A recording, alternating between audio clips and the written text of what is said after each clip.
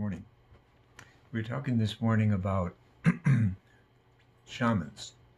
And one of my favorite shamans is David Paladin, whose picture is on this book of his paintings, Painting the Dream by David Paladin. He was Navajo. And he suffered terribly as a young man. He was captured by the Nazis in the war and uh, put in a concentration camp and tortured on a regular basis for four years.